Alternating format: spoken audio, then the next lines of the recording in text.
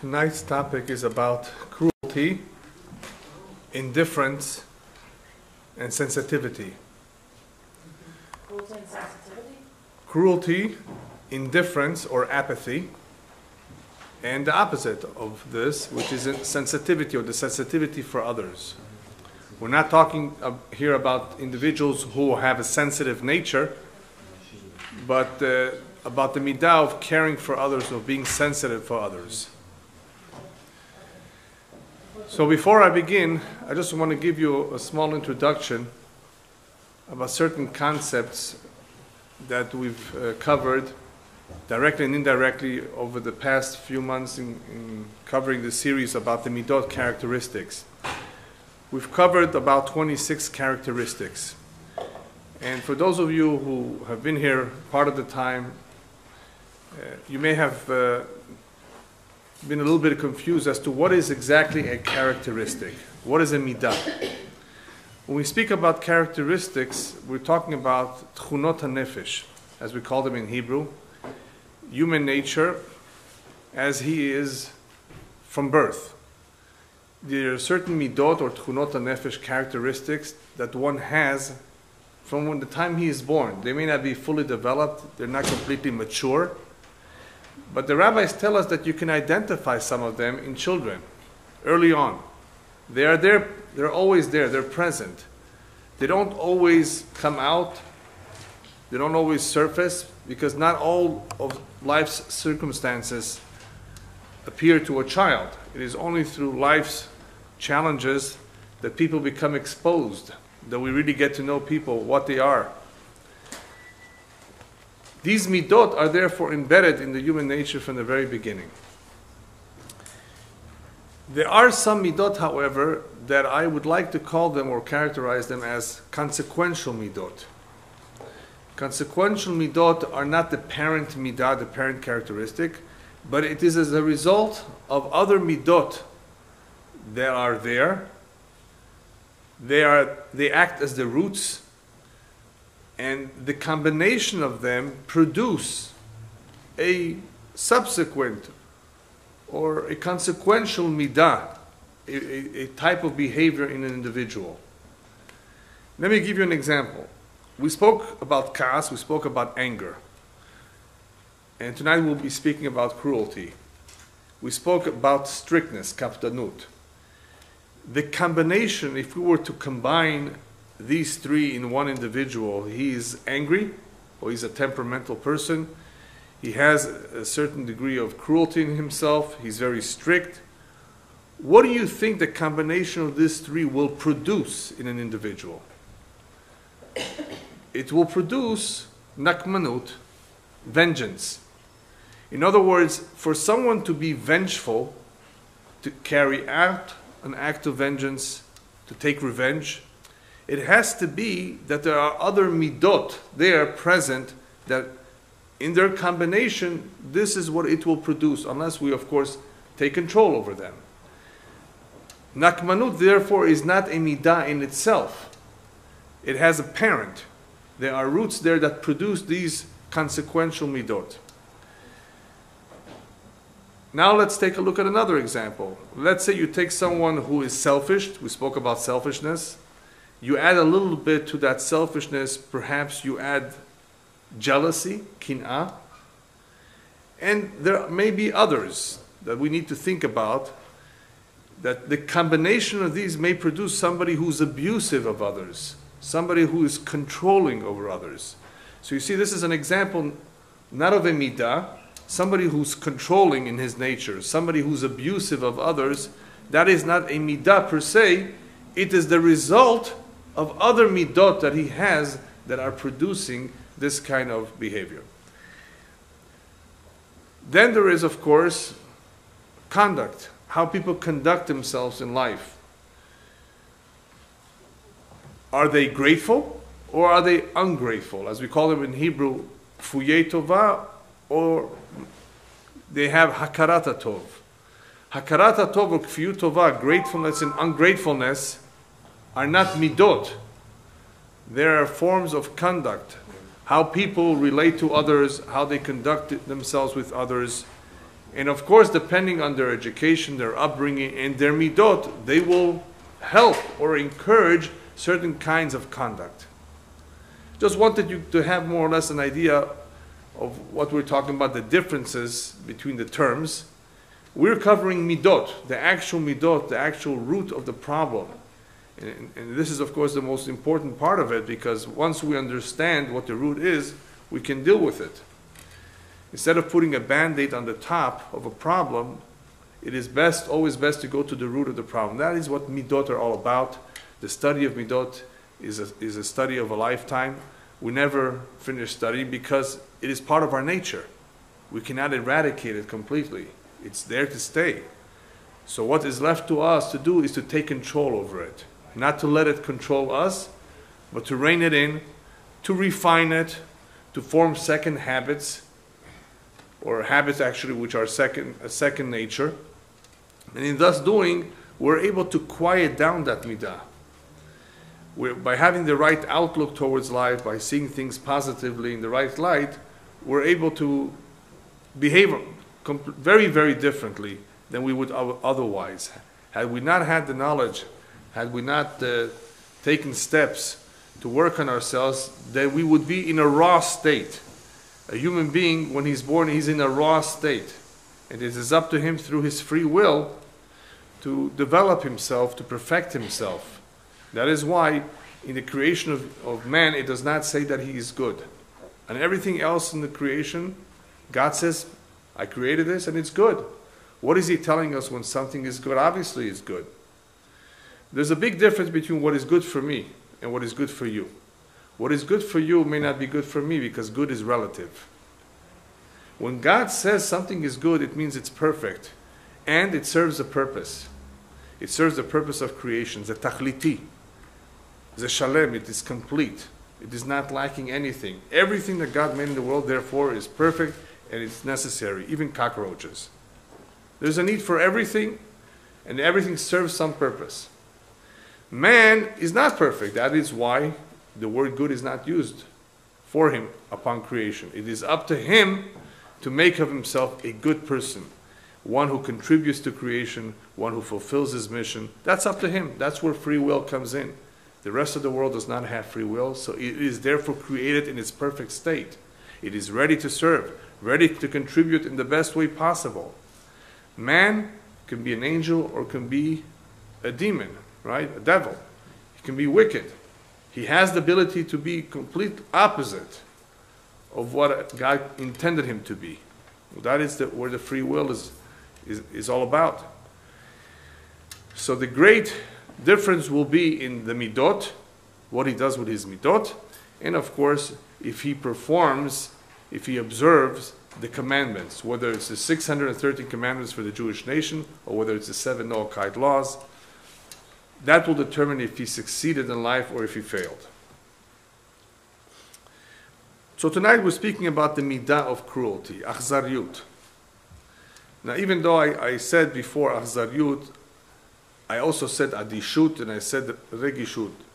We're, we're going to talk a little bit about indifference because indifference is related to cruelty, and we're going to speak about the opposite of of achzariut or the tikkun on how to repair or how to deal properly with cruelty, and that is sensitivity. So we're going to begin with cruelty, and then we're going to go on to the other ones. This particular midah, achzariut, is really the opposite of rahmanut, the opposite of compassion. And we spoke about what compassion is all about.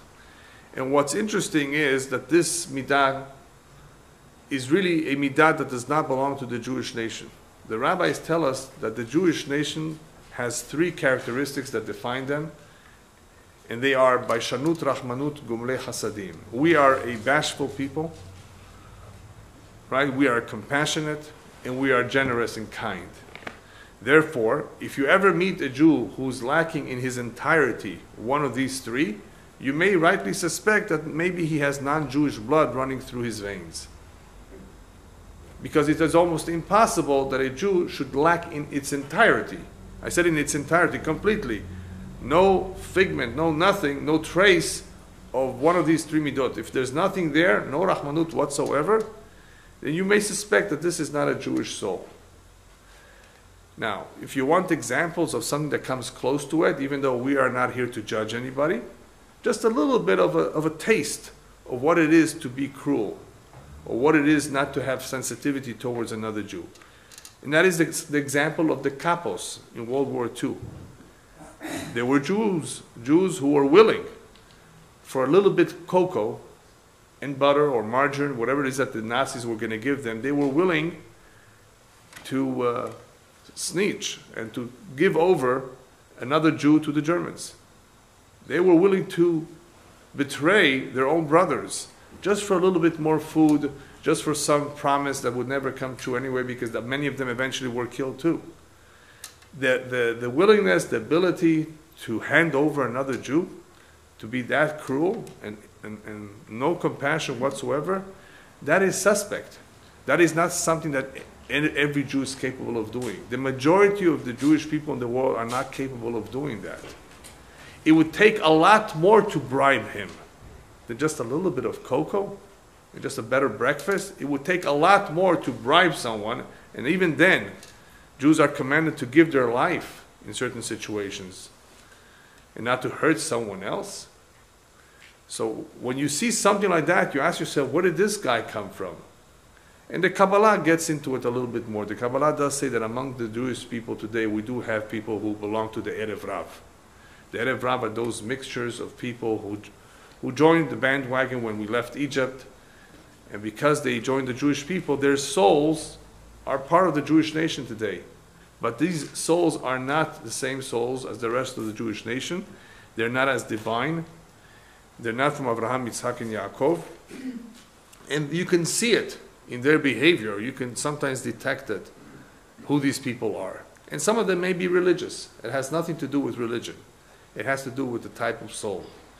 So when we talk about a midah like cruelty, in reality, it should not be amongst us, but it does exist in various levels. It doesn't mean it doesn't exist at all. It does exist in various levels, and we have to identify it because if it's there, we need to know what to do, how to do battle with it. So this midah, the rabbis tell us, is the opposite of compassion, and it really is to be found with those who are azay panim. Individuals who are azay panim are individuals who have no respect for others. B'ezrat Hashem, will be talking about this midah called azut, either next week or in two weeks from now. Azut really means audacity. And to be audacious can sometimes be very helpful. It is actually a good midah. But sometimes it's not a good midah because audacity is a form of chutzpah. So the rabbis tell us this midah of achzariyut you will find amongst those who are azay panim, who have no respect for others. So that's already giving us an idea of where this midah is to be found amongst those who have no respect for others. Now, why don't they have respect for others? Well, that's what, that's what we're going we're going to find out. But that already tells us something. Somebody who's disrespectful, has no respect for other people, he may be a cruel man. He may have cruelty in him. And rabbis tell us more than that, that those individuals who are cruel lack a very important additional midah that they should have, and that is gemilut chasadim. Because it's, it's not compatible. They cannot be kind and generous. Those who are cruel, therefore you know that they are not as charitable, they're not as kind and generous, because the two are opposites. So we can narrow down this individual, figuring out what he's all about, by just seeing this one midah. If a person is not kind or generous, it doesn't mean he's cruel. He could be stingy, he could be uh, selfish, not necessarily cruel. But if somebody is cruel, if you know that, you've identified that he's a cruel, he's capable of being cruel, then he, you know that he does not have Gemilut Chasadim. And since he does not have Gemilut Chasadim, we know now what it will take for him to, be, to, to get rid of his cruelty. I also saw uh, someone say that the opposite of love is indifference. Just like the opposite of akhzariyut is rahmanut, the opposite of cruelty is compassion, the opposite of love is indifference. Love means to care about someone, therefore, the not caring about someone, to be indifferent or to have apathy, to be apathetic about someone or something, is a lack of love or the opposite of love. Now Mishlei brings us a very interesting pasuk. He says like this: "Gomel nafsho ish hased, she'ero achzari." There's two meanings or two interpretations to this pasuk. Gomel nafsho ish hased means the one who does goodness with himself. He takes care of his body, of his physical well-being. He's a ish hased. He's a kind man. That is one meaning of the words gomel nafsho. The other meaning is gomel nafsho. Who is nafsho? Not himself, but his relatives. One who is kind and sensitive and caring of his own close relatives. He's a ish hased. That's a very kind man. He's a very generous man. It, it is ex- because it is expected of him. And the opposite, ocher she'ero achzari, one who mistreats, who is not kind, who's not respectful, who's ocher, his she'ero, his relative, he's a cruel man, he's achzari. So Solomon, Shlomo Melech in Mishlei is giving us already a little bit of an idea of who is a cruel man. If he is cruel with his own relatives, those that he is closest to, if he does not care for those who he should care a lot more, well, what is that if not cruelty? If somebody does not go out of his way for others, well, maybe we don't know yet why. Maybe he has some reason for it. But for his own relatives, where it is expected of him to be more caring and he's not, this is an example of a cruel man. There was a, an incident where a rabbi once visited a very wealthy donor. Even though he was wealthy and he was a donor, he never gave as much as he, as he really could. You know, a lot of people are charitable, they give, but they could give a lot more. That was the case with this individual. And the rabbi gets into a discussion with him about his plans to make a dormitory for the students of the yeshiva, that they should have three meals a day, that they should be comfortable so that they should be happy in the yeshiva. And uh, this wealthy donor tells the rabbi, Rabbi, I think you're wasting too much money in, on the meals and the dormitory. Look at me. You know, I eat very simple food. I eat sardines with crackers for dinner. Says the rabbi tells him, You're making a big mistake. You should have steak every night. You should have stuffed chicken, and you should have uh, Cornish hen. All the good food, he tells him. Me, I should have all these good foods. Rabbi, you're telling me to, to eat and to enjoy. He says, that's not, that's not what life is all about. He says, no, you have to eat good food. Because if, if you're going to eat good food, then you're going to understand that others have to eat well too. But if you only going to eat sardines and simple crackers and no bread, if you're going to deprive yourself of all the good food, then you're not going to have that sensitivity and understanding that others need to eat well too. You're going to say, if this is good enough for me, it is good enough for them. So it's not fair. You eat well, so you should understand that others need to eat well as well, you know, just as much. Another similar story with a rabbi who came to collect funds. This time it was for a widow who didn't have any firewood for the winter. It's very cold, Eastern Europe. So he knocks on the door of this wealthy man. The wealthy man opens up the door. Oh, Rabbi, how are you? You know, what brings you here? He says, please come out and I, I need to discuss something with you urgent. Rabbi, it's cold. Why don't you come inside? It's cozy. The fireplace is burning. No, no, no. I want you. I want to talk to you outside. He's trying to convince him to go in. Rabbi says, no. I want you to come outside. Finally, the wealthy man comes outside. It's freezing cold, and the rabbi starts telling him the story about this widow in town who doesn't have any firewood, how they're suffering, how it's so cold and there's no heat. He says, Rabbi, fine, I'm going to help you. I'm going to help you, but please come inside. He says, now that you've heard the story, I'm going to come inside. He comes inside, they sit down at a comfortable couch next to the fire fireplace. He says, Rabbi, why did you make me stay outside? You could have told me this story. I wanted you to feel on your own skin what the widow is going through and her children. Very simple. So how do I impress upon you? I made you come out. Otherwise you would think, ah, they don't need that much. It's okay, it's not so cold. In order for you to feel how, how cold it is and what they're going through, you have to come outside and experience it yourself. So that's, that's what happens sometimes, even though relatives, relatives, they're very close. They should feel, they, they should want to help, they should care. If they don't, they're cruel. There's something wrong with it. Anybody who has this midah of cruelty, it will not be possible for him to really empathize or, or understand the pain of other people. He does not have empathy. Empathy is another midah that we spoke about in the past that is similar to rahmanut.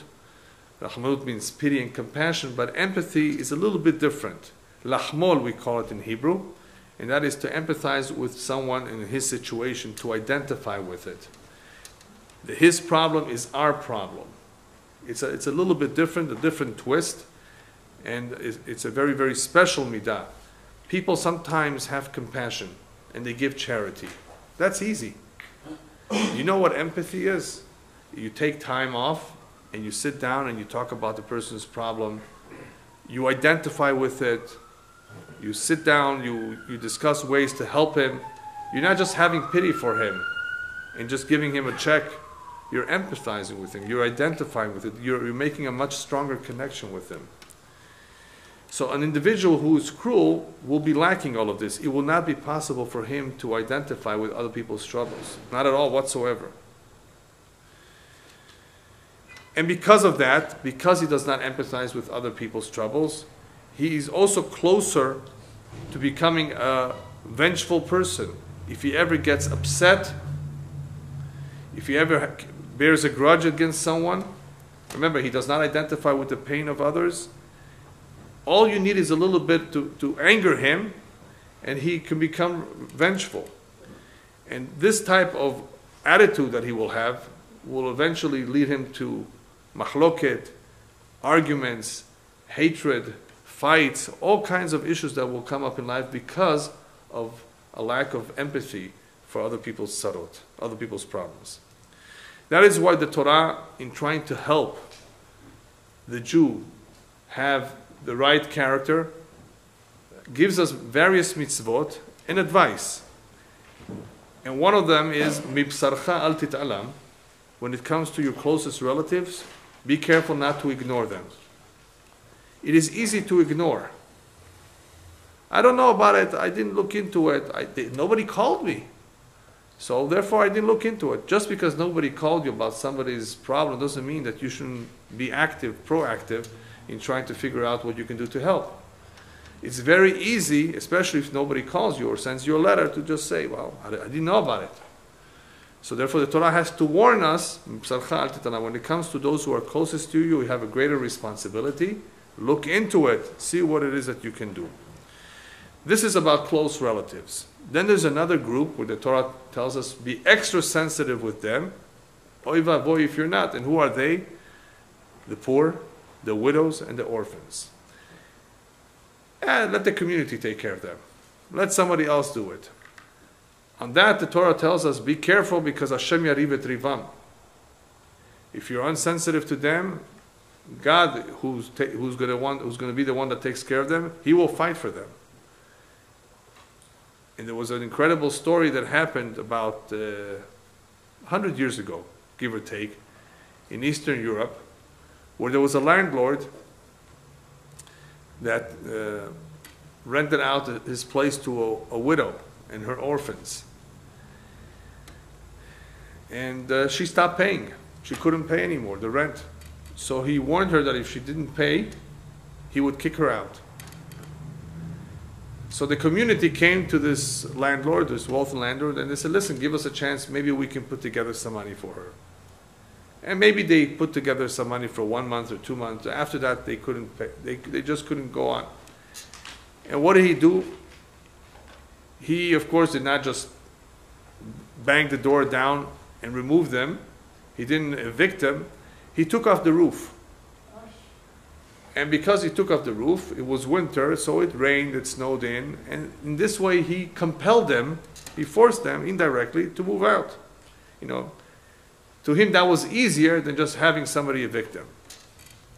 So when they came to the Chafetz Chaim and they told him, look what this man did, the Chafetz Chaim said, I have no doubt whatsoever that one of these days he's going to be punished for this, for this terrible act of cruelty and lack of sensitivity to a widow.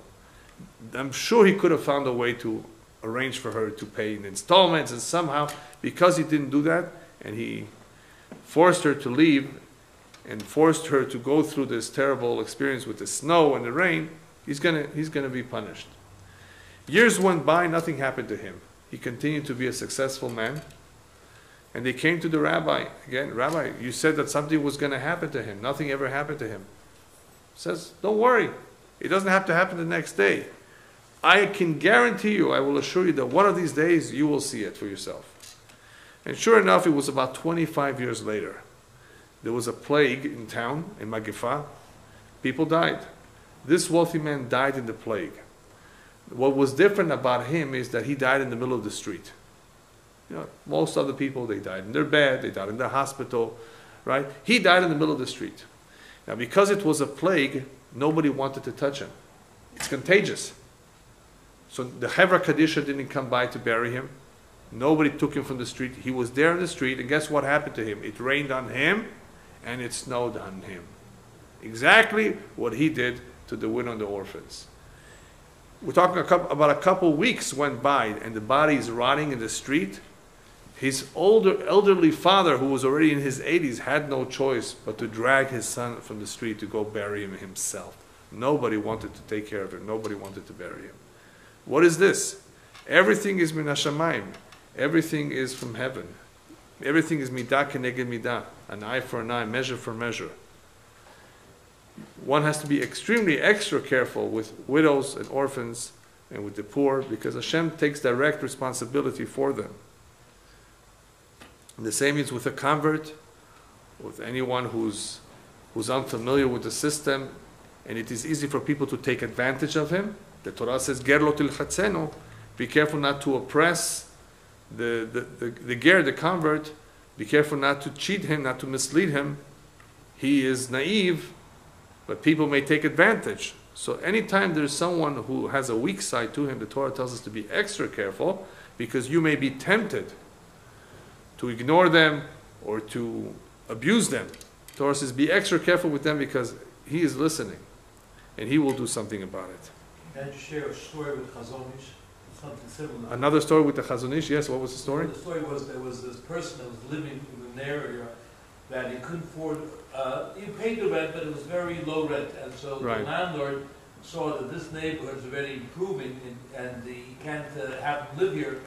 So uh, he went to Chazon Ish and asked Chazon Ish what he should do. Right, Chazon Ish said, the man has the right to rent it to someone else because it's a much better neighborhood, he can get more money for it.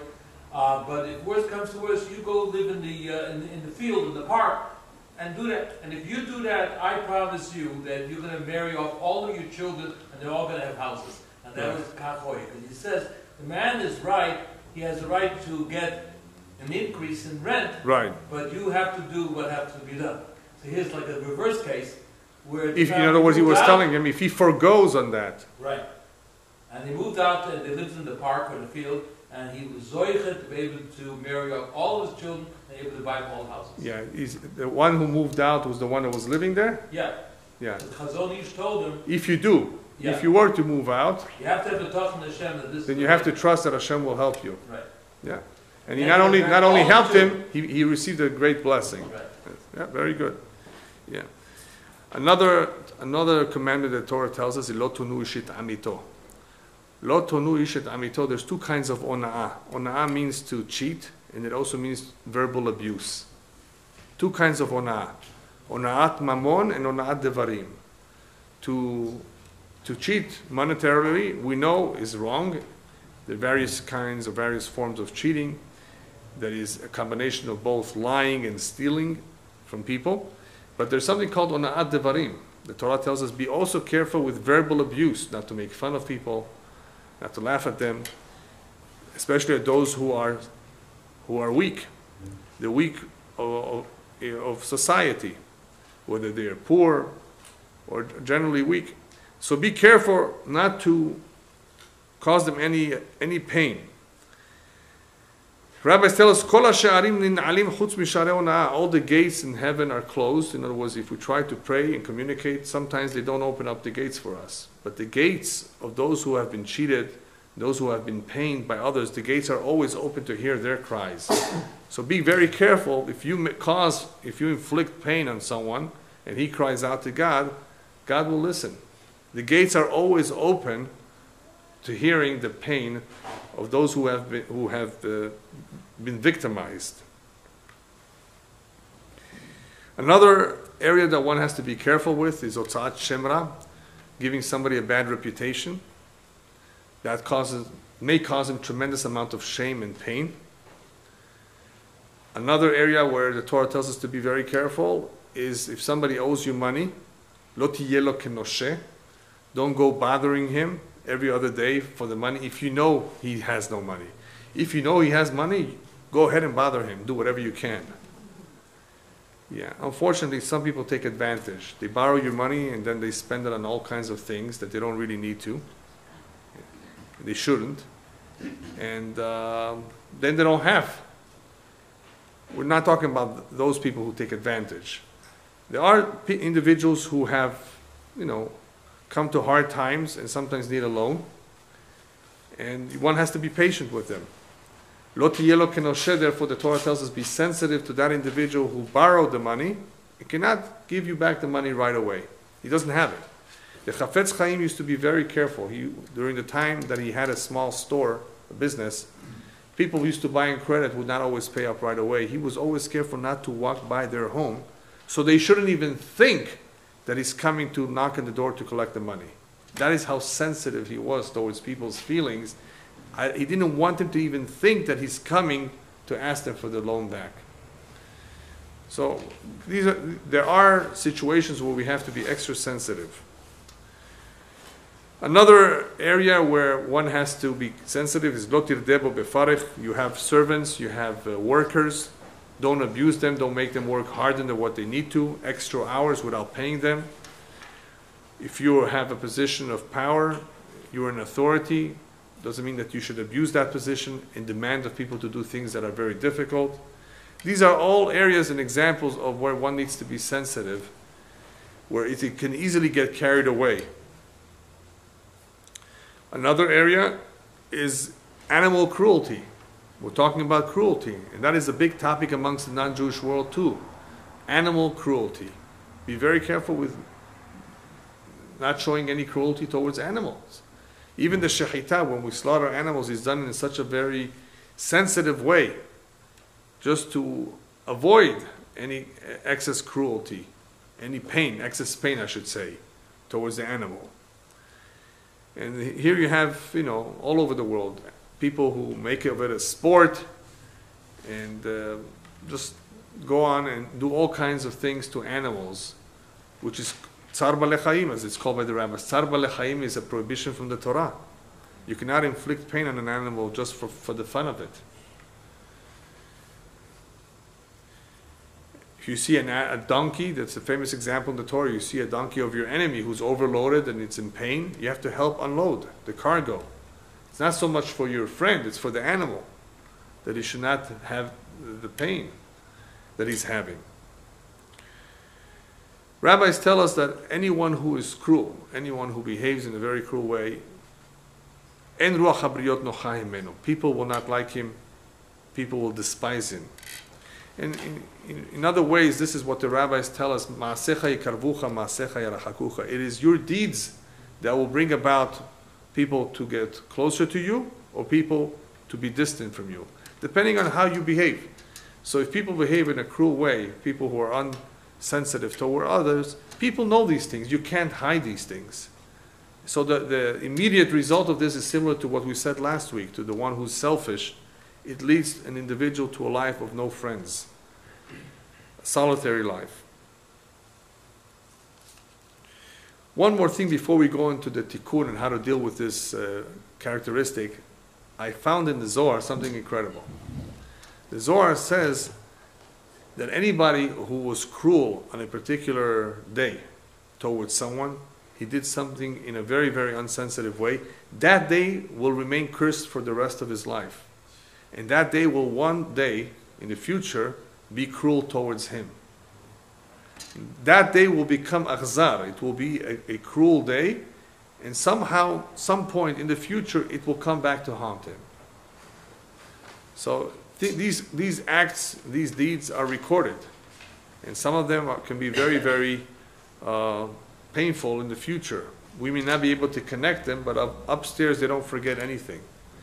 So for whatever we do, we have to rem- remember that if that if we don't correct it in time, it may come back later on and get back at us. There are two examples, or, or perhaps a few more examples, of where one should be cruel. And I'm not talking about just being cruel with Rashayim, with the wicked. I'm not talking about Amalek. You should be cruel with yourself. In other words, if, if one needs to perform a mitzvah, one needs to get up early in the morning or go to a class and he's having problems because he's lazy, he's tired, he, he sometimes may have to force himself. So cruelty in this case would be to deprive yourself of having your meal, dinner, but go and do the mitzvah. Because if you don't deprive yourself sometimes, you may not accomplish it. So sometimes it, it is okay to be cruel to yourself if it is if it is to overcome the evil inclination. As long as you don't overdo it. There are people who overdo it. They're very cruel to themselves and they don't eat at all. Uh, I think it's called in English anorexia. There's one form. Is that what it is? That they don't eat at all? They want to be skinny like a stick? Is that what it is? Anorexia? That's no good. Yes, yes. Huh? You don't have to be a size minus one. Be a size two or three. I mean, if, you know, right? So, what is this? I mean, it's all in the head. It's all in the head, obviously. They think they're okay. They think they're okay, but it's not okay. You have to be careful. You have to take care of the body. Remember this, the pasuk we said earlier, "Gomel nafsho ish chased." You're kind if you take care of your body. Your body is a vessel for Hashem. It's a vessel where the soul resides during its lifetime. You, if you smoke and you drink and you do all these things, terrible things to the body, you're killing yourself, and you may not last as long as you could have otherwise. When you come upstairs and you, what are you doing here? They're going to ask. You should have been down there for another 40 years. You're too early, right? Well, people kill themselves. That's no good. But if it, the cruelty is to get yourself to do a mitzvah, then that's fine. Another area where it's where it's correct to be cruel or not too sympathetic or sensitive is when you are in, in court and you are the judge. Lo lerachem badin. You're not allowed to have any rahmanut in justice. You are asked, you are instructed to be just, to do the right thing, to do what the halakha says, what the Torah says. It has nothing to do with the fact that he is poor and he is rich. I'm going to make the poor man win the case. Chas v'shalom. Tzedek tzedek tirdof. You have to be just. You have to be fair. You have to do the right things. So you cannot have rahmanut badin when it comes to justice. So there are a few examples where you don't want to misuse the, uh, the compassion, where you need to be cruel. This cruelty, as I started, as I mentioned earlier, is really a form of apathy. Apathy, or as it is called, indifference, is very unique in, in, this case of cruelty because we're talking about an apathy or indifference to pain, to other people's pain, that is. And sometimes there are people who actually enjoy inflicting pain on, on others. So it's one thing for a person to be indifferent towards other people's pain, which makes him cruel. It is another level, or worse, when he actually enjoys inflicting pain to others, seeing other people miserable. You may have met people like that. And guess what? The Torah is aware of that too. And that is why the Torah tells us, Bin fol oyivcha al tismach. Even when you see your enemy falling, don't rejoice. Why is the Torah telling us this? Now, there are various reasons why the Torah warns us to be careful not to rejoice. This is not a time to rejoice. We have to be happy that we are safe, not that they have, they have been destroyed. That is the way we should look at it. Baruch Hashem, Hashem saved us. Not great that they're destroyed and finished. So, follow your the Torah is telling us be careful not to have that kind of an attitude to enjoy when other people are being destroyed, other human beings. These are creations of Hashem too. What's this for? To develop sensitivity toward others. They're, they're humans, they're creations of God. So with this commandment, with this instruction, the Torah is basically telling us this is what you should be working on. On being caring and being sensitive and not happy with the downfall of others. Also, the Torah tells us that even if somebody harmed you, lotikom velotitor, don't take revenge. What's the difference between lotikom velotitor? One is nekama, revenge, loti lotikom. The other one is lotitor. Lotitor means don't bear a grudge. What's the example of bearing a grudge? Let's say Reuven and Shimon. Reuven comes to Shimon, knocks on his door. Can you lend me your hammer? He says, No, I don't want to lend you my hammer. I'm upset at you or whatever. I don't want to give you my hammer. Or he tells him, I don't have it. Whatever. All right. Shimon comes the other day, the next day to Reuven, and says, You know what? My car broke down. Can you lend me your car for half an hour? I need to go get something. No, I'm not giving you my car because you didn't give me the other day a hammer. When I asked you for something, you didn't give me what I needed, so I'm not going to give you what. That's nekama. That's a form of revenge. What's lotitor? Shimon comes to Reuven, and Reuven tells Shimon, Yeah, take my car. I'm not like you. the fact that he tells him those words, I'm not like you, he has something against him still. He still bears, that's called bearing a grudge. That's netira.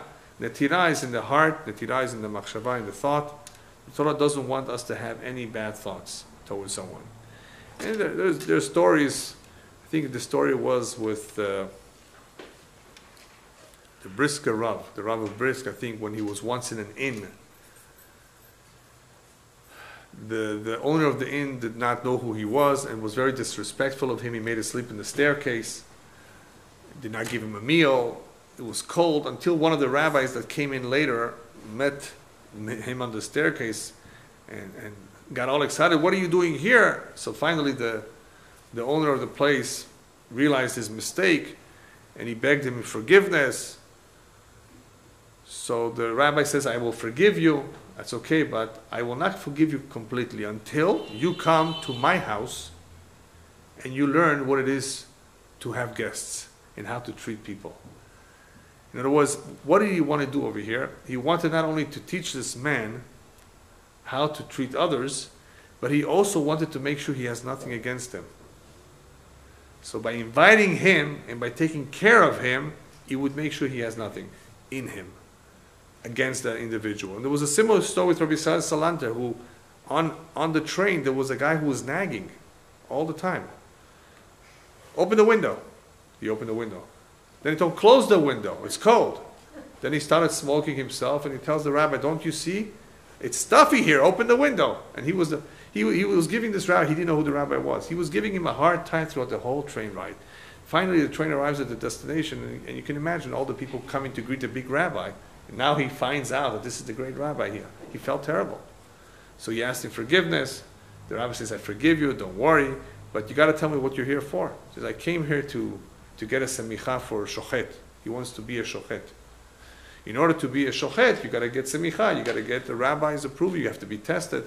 So Rabbi Israel Salanter set him up where to sleep, set him up a place where he could learn, set him up a place where he can be, where he can be, where he can receive the exam and get the semicha.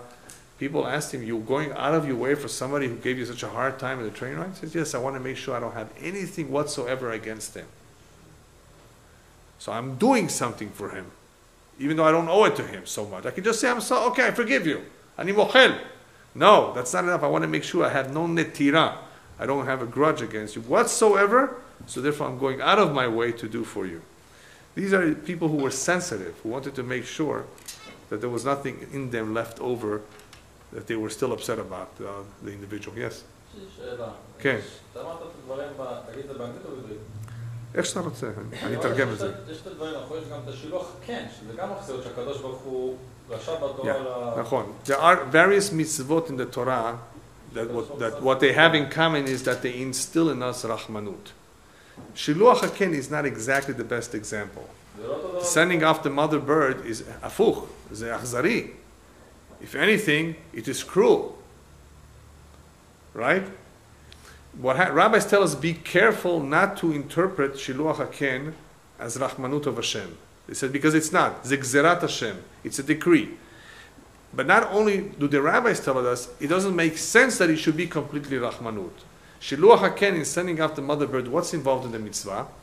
The Torah tells us, don't take the cheeks while the mother is there. Send off the mother bird, and then take the cheeks or the eggs for yourself.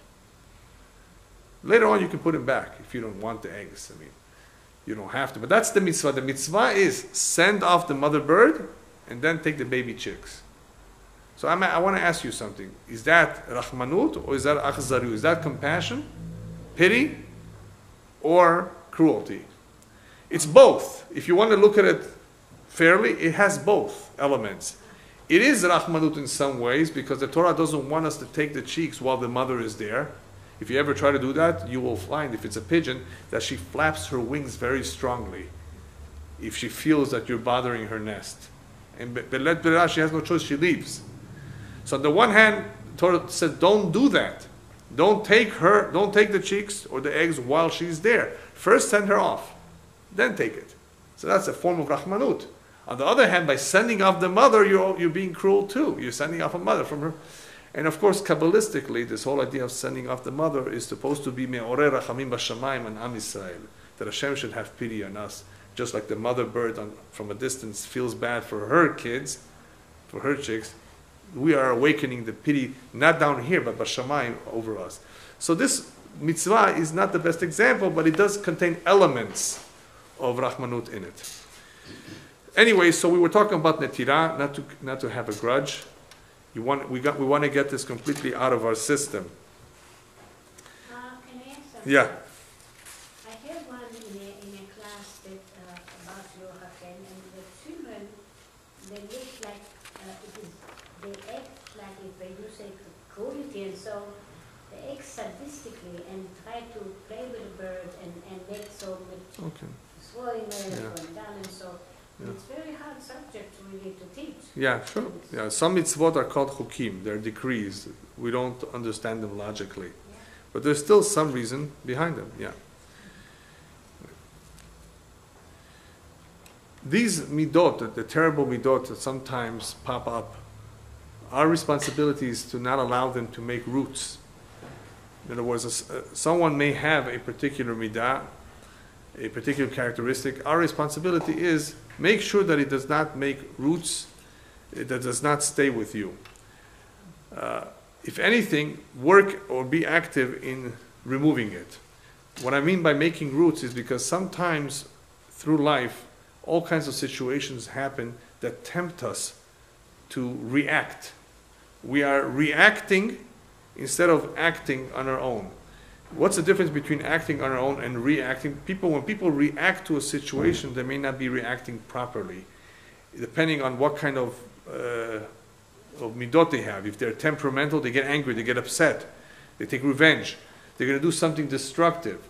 So, if we want to have complete control over ourselves, we want to make sure that these midot, whenever they surface because of challenges in life, don't make roots. In other words, don't stay settled um, in our in our in our system.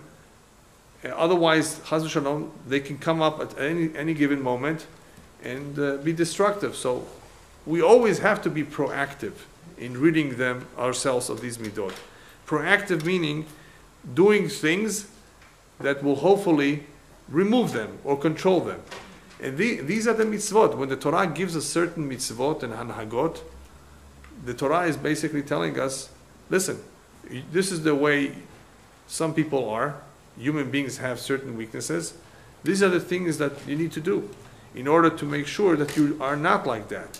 So we have many mitzvot, as the Sefer HaChinuch says, that by performing them, it will be through our actions that our hearts will be influenced.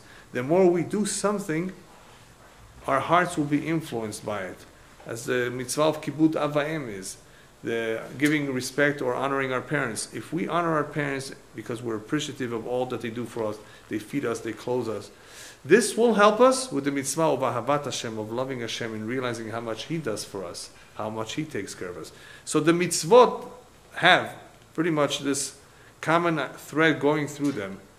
Be proactive in doing them because they, you will become a better person through them. Okay, so now that we've more or less covered the topic, let's talk a little bit about some tips, some ideas of how one can help himself and help others. Well, the opposite of cruelty or indifference is sensitivity for others, regishut. How do we develop sensitivity? If we really are prepared to help someone, if we really care about someone, then we have to do something for them. It is not enough that a person has feelings in his heart. If, if it's just feelings, it won't get him anywhere.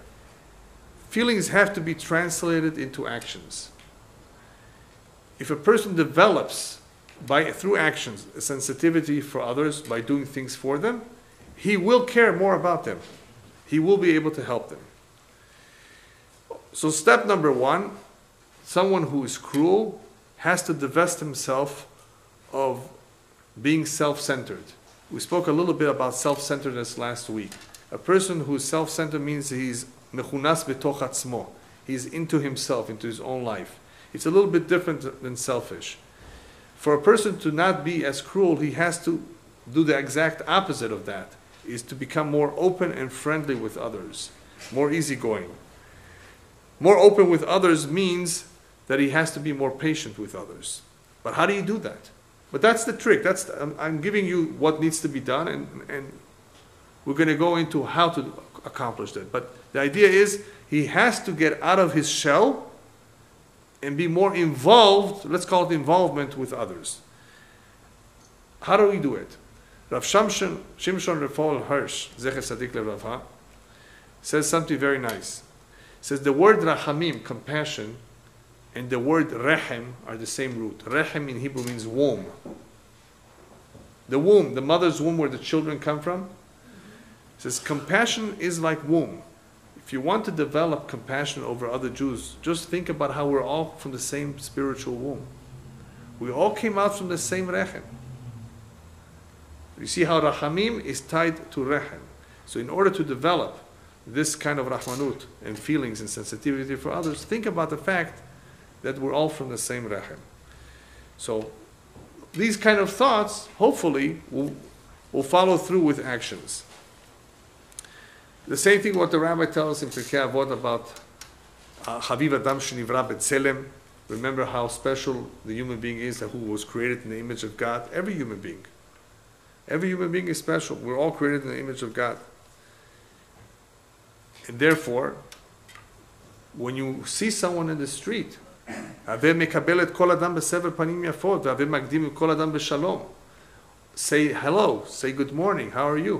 Haven't you had a situation where a goy said to you out of nowhere, not knowing who you are, Hi, how are you doing? Good morning. Usually they say shalom when they see a Jewish That guy. too. Just don't say just don't say it in New York because they'll know you're not from there. I, I once said good morning. I, can I have this? He said, oh, I can tell you're not from here. Here we don't say good morning. Yeah. So some places they're just not used to saying these things, but the, the proper way of, of, of, of conducting ourselves with people is to be nice, to take attention, to, to be attentive, and to realize that they are there. Otherwise, if you ignore somebody in the street on Shabbat, you don't say Shabbat Shalom to them, and they are sensitive by nature, they may think that you have something against them, especially if they know you. It's insulting to someone. Now, you may be absent minded. You're into, you're into your own thoughts and your own world thinking about some issue. Be careful with that because people don't know that. People will say, well, he just, he wasn't across the street. He was next to me. He didn't even look at me. You see how these little things make a difference? It's therefore the right thing to get used to is to say hello, Shabbat Shalom if he's Jewish, hi, good morning, how are you? These are normal things that even if we don't do them naturally, we should get used to doing them as much as possible, depending how close we are to these people, close in distance. So that these are these are small steps that we can take. Another important step is to be attentive to people. Somebody has an issue, has a problem, sit down with them and listen to them. People have trouble being listeners. They don't listen enough. They want to say what's on their mind without giving the other person a chance to say what he has to say. So one of the tricks here, one of the, part of the strategy is to be attentive. Attentive not only to take notice of them, not only to say how are you, but also to listen to them. Sit down, be patient, listen to what they have to say, feel for them, at least show, at least make, make believe you feel for them. In other words, let, the, let them see that you really care. Give the impression that you want to be involved in their life. For that, of course, one, one needs a lot of patience. If you don't have the patience, of course, it's not going to work. So, the, all of these midot require sometimes the work on other midot. In order to be able to overcome this midah, we need to adapt the midah of savlanut of patience. Be aware that people have weaknesses. No one is perfect. This, this awareness also is very helpful. Not everybody is perfect. I mean, people have weaknesses. And therefore, if you understand this, this may help you to be more sympathetic of them. And don't think you can't help people. There are many ways you can help people. There's a story that I saw recently of a girl who was very, very sick. She had some form of cancer.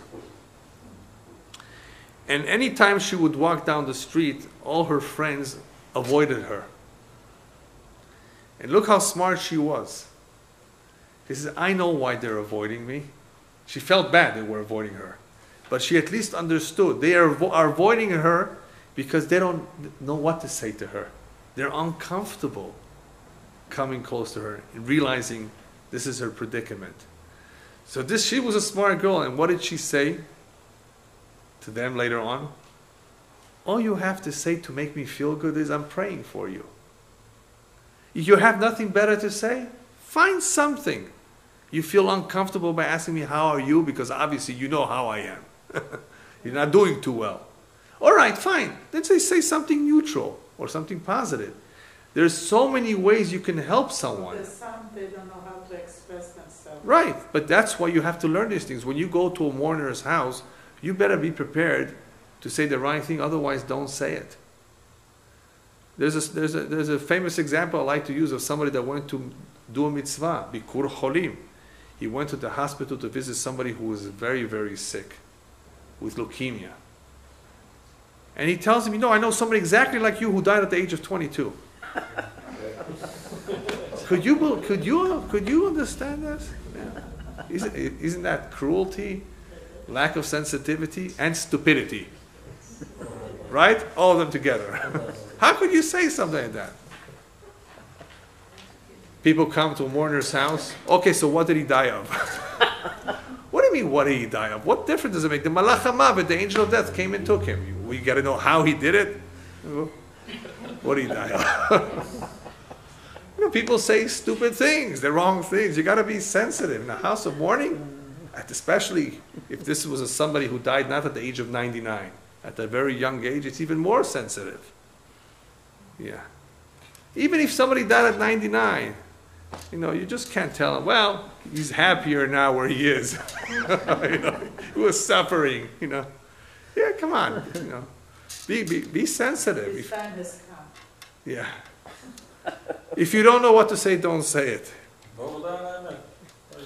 Yeah, but it depends if he's religious or not. He may not know what Baruch Dayan Emet is. Uh. Right? What's Baruch Dayan Emet?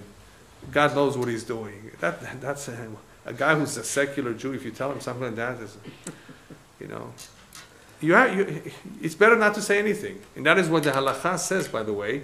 When you come to a, a mourner's house, he has to speak first. You have no right to speak until he has first spoken himself. Let him speak. Maybe he's not in the mood of speaking. Sometimes, by an individual coming over or speaking, he's being intrusive instead of supportive. Be very careful not to be intrusive. If anything, try to be supportive in some way. Help. Is there anything I can do to help you? You know, do you need anything? That's being supportive and helpful. Be careful not to be intrusive. Anyway, these small steps, what do they do? They form a bond.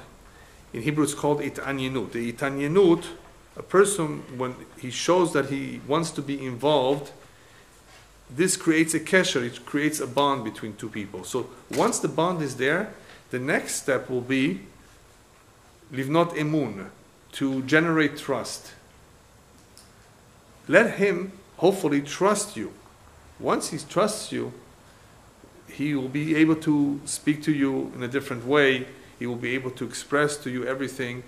And trust is, is a very good feeling. When people know that they're being trusted, that's, but you have to earn it. You have to bring that out. So you have to basically do something to get him to trust you. But this is the way you start forming bonds with people, and of course, there's more involvement and there's more caring.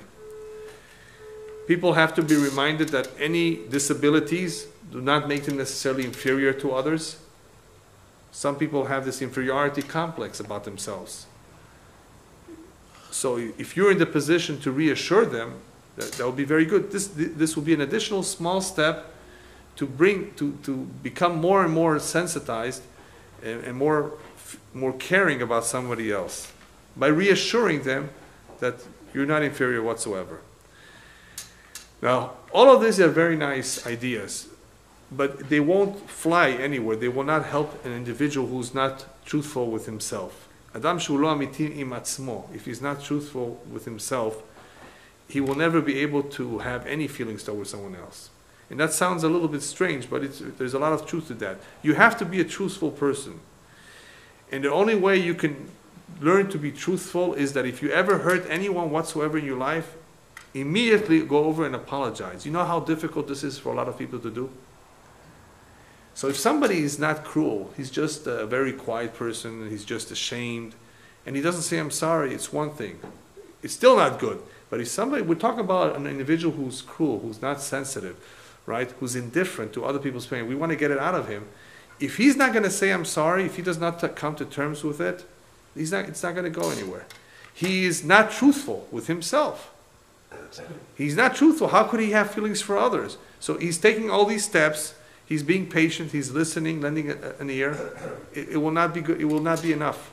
You have to be truthful with yourself, because being truthful and saying I'm sorry means that you are taking responsibility for your actions. It, it, bec- it becomes more serious. And B'ezrat Hashem, we will be talking about this midah called seriousness, Ritzinut, at another time. What it means to be serious, what it means to, to, to be responsible.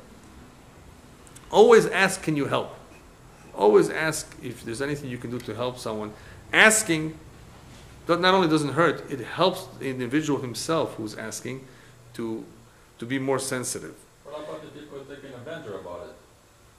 No, there will, there will always be occasionally people like that. But Still to do it, people keep ta- yeah, taking let me let me let yes. guy, Let me give you an example. Let me give you an example. You go out to the door, or whether it's a hospital lobby, whether it's a hotel, and you see somebody coming, and you keep the door open for them. Most people don't do this, by the way. Why? He can open the door. It's not a person in a wheelchair, which you really have to be extra cruel not to open the door for him, right? Extra cruel. But let's say you're not extra cruel, just a little cruel, right? If the guy is coming and you keep the door open for him, this helps overcome the cruelty. We're giving here ideas on how to overcome a person who's really, really not sadistic, which is a whole different idea, but he's cruel. He's indifferent, adish. He doesn't care. He doesn't have feelings. If he opens the door for him, he's doing kindness, Yeah. not an act of cruelty. No, right. He's doing the opposite to overcome the cruelty. He's taking a step. To, we're talking about steps or tips to overcome the cruelty. So here he's opening, keeping the door open, or asking, "Is there anything I can do for you?" Somebody comes home with groceries, and they live in the second story, third story. Why don't you offer them? You want me to you a hand? Take the bags for them. What's the big deal? Nothing happened. It's always a good thing. It's always a hesed. It's always a mitzvah. But especially somebody who has a difficulty with cruelty, the more so that he should, if he wants to get out of it, if he wants to control it, these are ideas. Another very important idea is to f- keep your promises. A promise is a promise. We were speaking before about being truthful with yourself. If you break your promises, it's going to, it's going to be very difficult to have sensitivity or feelings for others. It just it's incompatible. A person who breaks his promises doesn't keep them. He lacks the strength uh, to conquer any midah. In many, he will have a hard time with many midot. A person who doesn't keep promises. Let's say you see two people who are having a fight. And what's the, what's the problem here? The, the reason why there's a fight is because there are people who are picking on him. You know what it is to pick on him? Hamid Garimbo. They're picking on him, making fun of him, and you take a stand and you get involved. As long as, of course, it's not dangerous, right, for you to get involved. And you try to make peace. This will help you. You can stand and not do anything. Says, why should I get involved? Of course, that's the natural thing for many people to do. But if you do get involved, if you do help, you, st- you say, no, it's not right, it's not fair, it's wrong, this will help. These are midot, these are conducts, these are things, actions, deeds that help people become more caring, more sensitive, and form a greater bond with people. We have to be involved with other people's lives in order to care for them. That's the great. That's the beauty of chesed. The importance of chesed versus tzedakah. Tzedakah, you give an eighteen dollar check, ma salama, as we say in Arabic, uh, shalom, right? Hasta la vista. Atzlaha. May you be successful. Come, sit down. You want a drink? You've had a long day.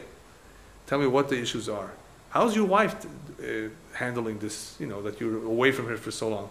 You're taking an interest in his life. You don't have to do that. Most people in the world, when they give you a check, they don't do all of that. Yeah. Right. They write. Some of them write beautiful checks, even a five hundred dollar check. That's very nice, but they didn't take the time to sit down. It takes a lot more of an individual to sit down to listen to him and to reassure him, and he's, he will receive a lot more blessings. For, for Eleven blessings you get for speaking to a person like that. eleven blessings. Six brachas you get for giving stuff. That's right. 11 for saying something nice, and 6 for just being charitable. What's better? Right? It's harder, therefore, to take your time and to sit down and to listen because obviously it, there's more effort involved. But this involvement is what will help a person develop little by little more sensitivity to others. I'd just like to end with a beautiful quotation that I saw about people who are sensitive and caring and how we wish we had more of them. It's a very beautiful quotation, and it, it reads as follows Someone asked me once if I could see angels and fairies. I told her, Look to the sensitive, loving, caring ones who bring so much to our world and take on the suffering of others. They are the earth angels sent to earth to help us in our life journey. This world needs all the earth angels it can get. There are earth angels out there, people, beautiful people who care for others, who take on themselves their suffering, bear it with them, care for them, love them, do for them. We wish there were many more like that. Unfortunately, there are devils out there too. people who are just exact opposite, who hurt others, who are indifferent about others, who couldn't care about others. Look at the difference between the two of them. One is an angel and one is like a devil. Well, let it be the will of Hashem that all of us will do whatever it takes to become angels, B'ezrat Hashem. Thank you.